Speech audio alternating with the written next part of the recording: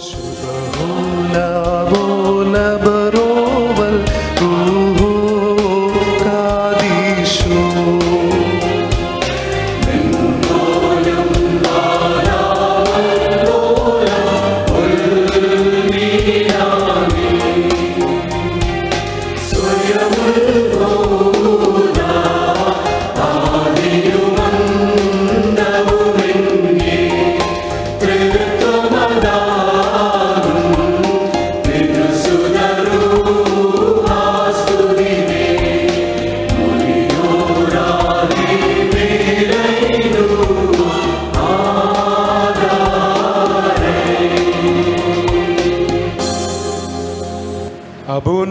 Barnabas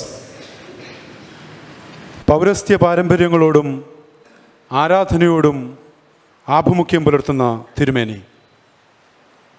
Adoor Singapore Malaysia Australia എന്നീ ഭദ്രാസനത്തിന്റെ അധ്യക്ഷൻ. മാർത്തോമ യുവജന സഖ്യം department of sacred music and communication liturgical commission എന്നിവയുടെ പ്രസിഡന്റ് സഭാ വ്യത്യാസം കൂടാതെ ഏവരെയും കരുതുകയും യുവജനങ്ങളെയും കുഞ്ഞുങ്ങളെയും സ്നേഹിക്കുകയും ആധ്യാത്മിക വളർച്ചയിൽ ശ്രദ്ധ പതിപ്പിക്കുകയും ചെയ്യുന്ന വന്ധ്യ പിതാവിനെ മുഖ്യ സന്ദേശം നൽകുന്നതിനായിട്ട് ഏറ്റവും വിനയപൂർവം ക്ഷണിച്ചുകൊള്ളുന്നു.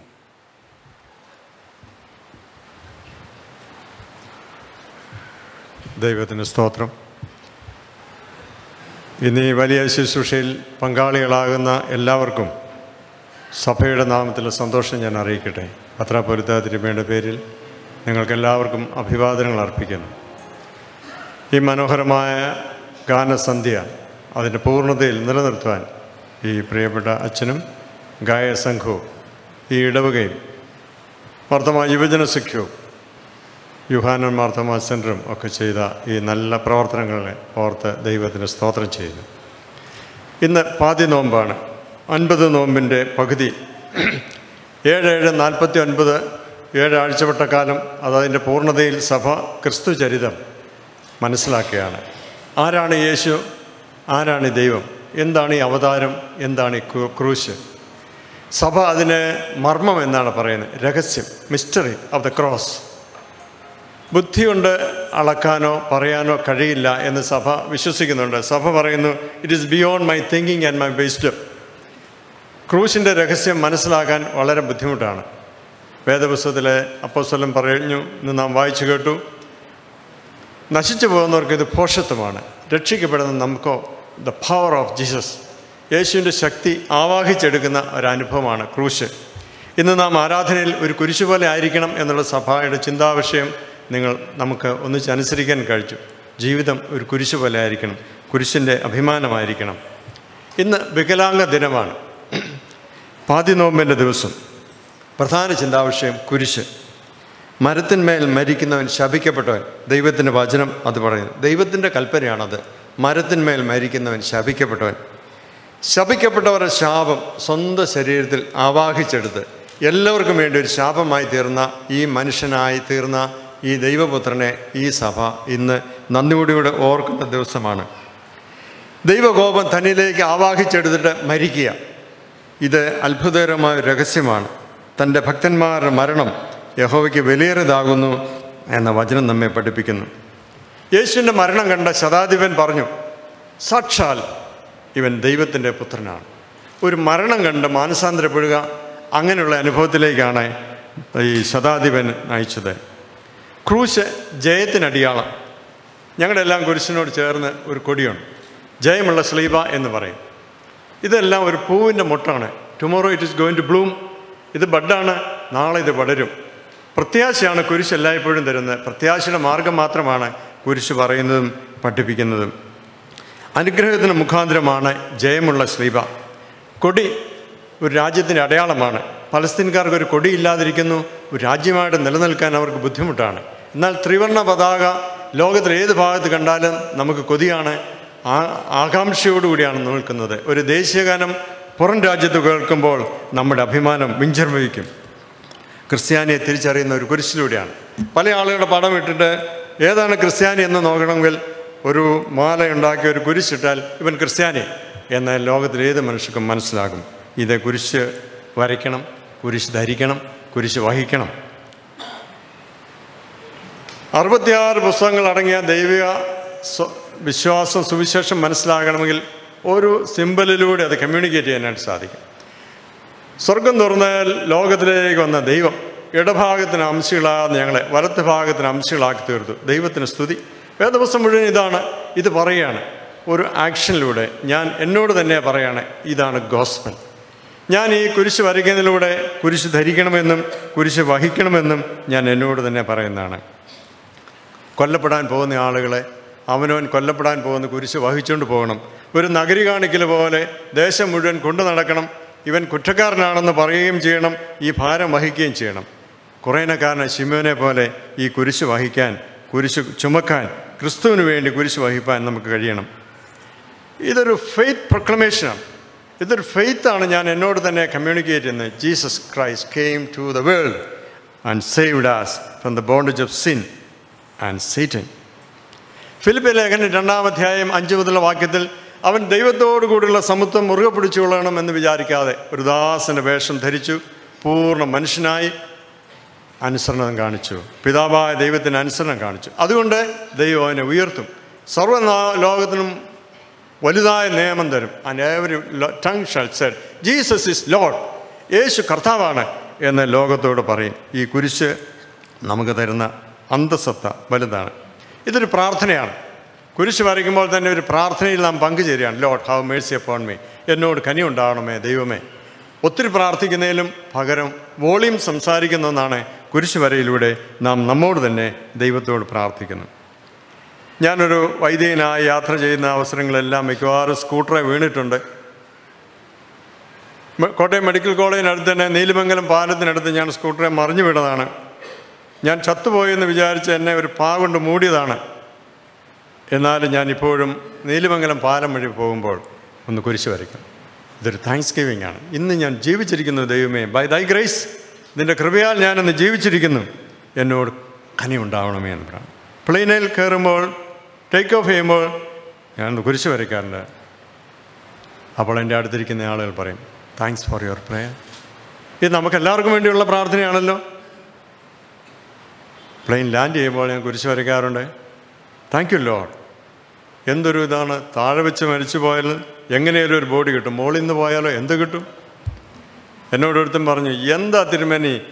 ഒരു ഒരു ചുമ്മാ കാളവണ്ടി ഇടിച്ചും സൈക്കിൾ ഇടിച്ചൊന്നും ചാകുന്നെന്ന് പറയുന്നതിന് നല്ലത്. ഒരു ബുള്ളറ്റ് ഇടിച്ച് ചത്തെന്ന് പറഞ്ഞാൽ ഒരു വിലയില്ല എന്ന് ചോദിക്കും. ഈ നീചമായ മരണം നമുക്ക് വേണ്ടി കരിച്ച കർത്താവ് കർത്താവിനെ ഓർക്കുകയാണ് കുരിശുവരയിലൂടെ ഇതൊരു താമ്ര കവചം പോലെയാണ്. ബുള്ളറ്റ് പ്രൂഫ് പോലെയാണ്.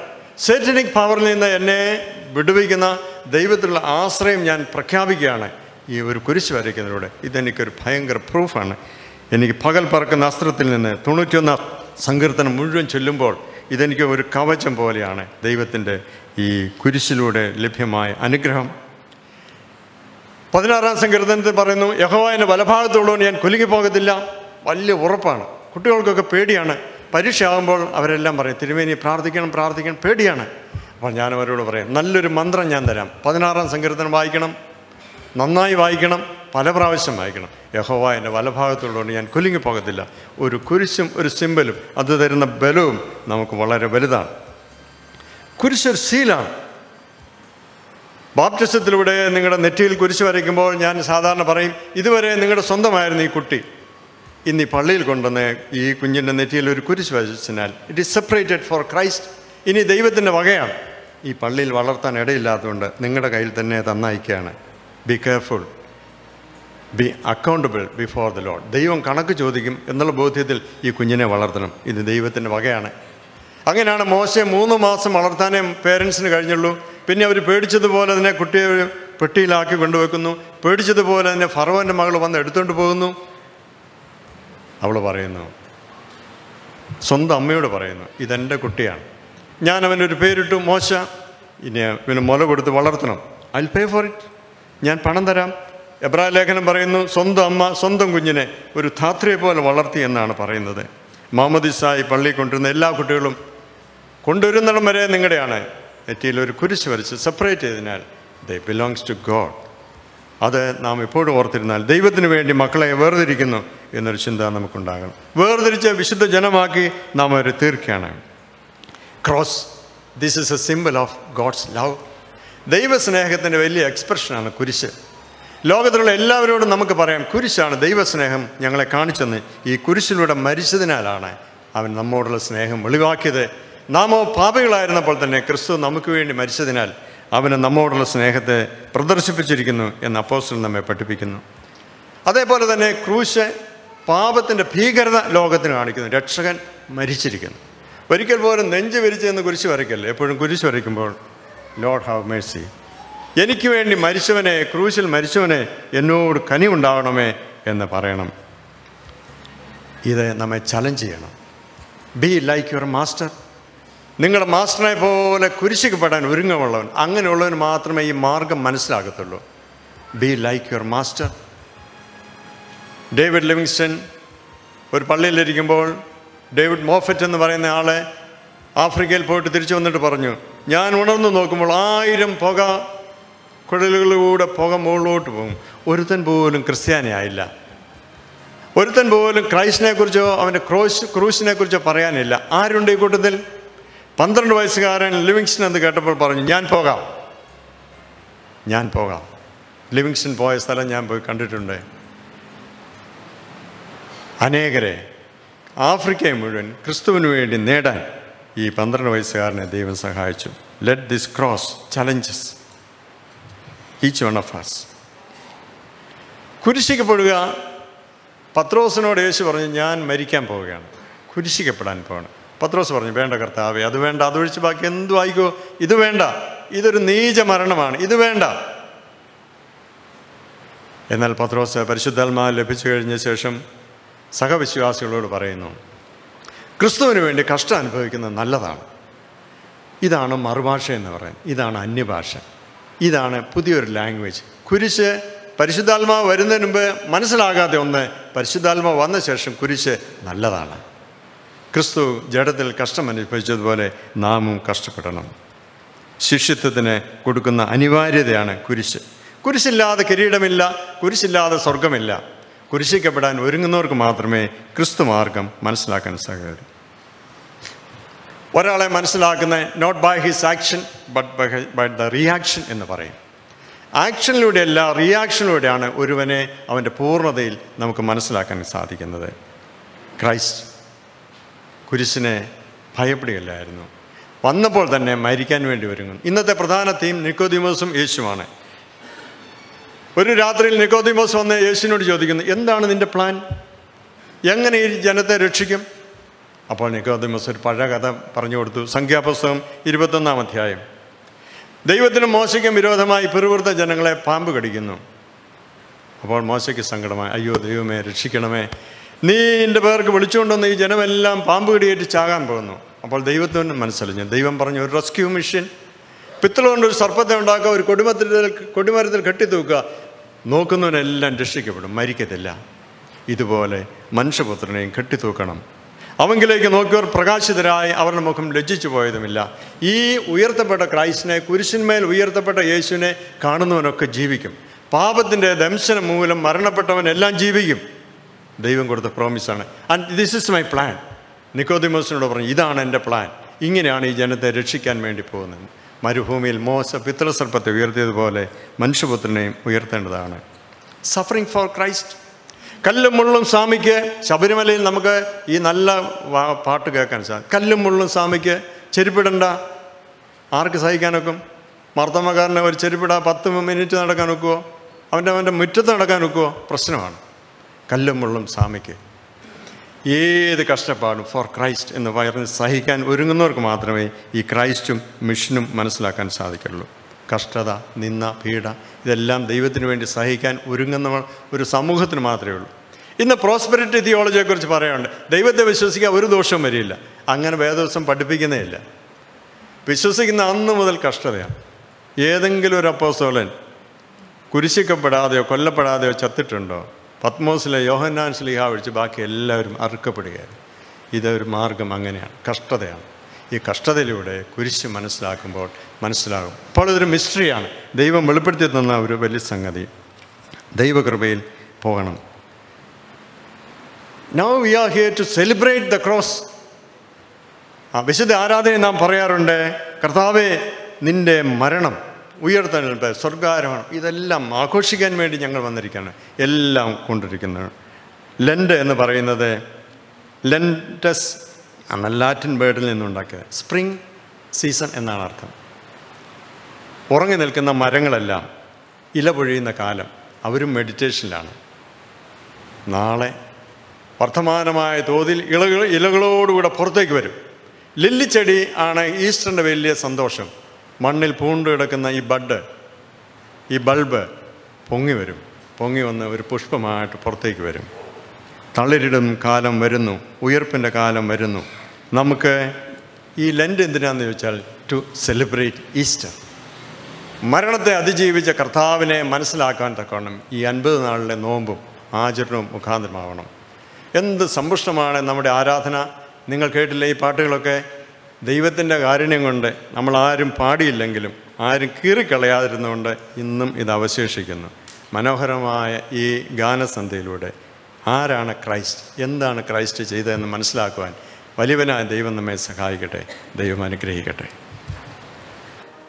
His grace right Reverend Joseph Mar Barnabas Episcopa we humbly bow in respect for having graced us with thy presence and for enriching us with thy words. We would like to offer our humble word of gratitude to His Grace, Right Reverend Thomas Mar Timotheus, Episcopa, the Diocesan Bishop of our Trivandrum Column Diocese, for allowing us to conduct this evening. A word of thanks to all who enabled us to have this wonderful evening possible. Thank you, one and all. Now let us enter into the second session of this.